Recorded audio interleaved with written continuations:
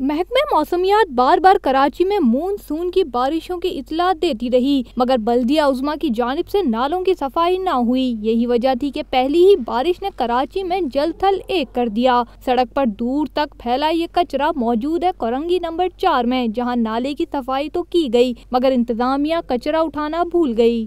کچرے کے باعث جہاں یہاں سے گزرنے والے افراد کو مشکلات کا سامنا کرنا پڑتا ہے وہیں گندگی سے اٹھنے والے تعفن کے باعث علاقے میں بیماریاں پھیلنے کا بھی خدشہ ہے۔ کچرا نکال کے روڈ کے سائڈ میں پھینکے ہوئے جب بارش ہوئے گی تو سارا کچرا روڈوں پہ آ رہا ہے۔ بدو بہت زیادہ ہے بندے بیمار ہوتے ہیں اس سے کچرا پھیلتا ہے سارے گندگی جاتے ہیں وہ گند ہوا چلتی ہے۔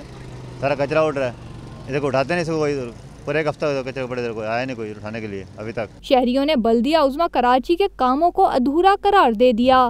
علاقہ مکینوں کا کہنا ہے کہ فوری طور پر اس کچرے کو اٹھایا جائے تاکہ آئندہ آنے والی مانسون کی بارشوں میں مزید مشکلات کا سامنا نہ کرنا پڑے۔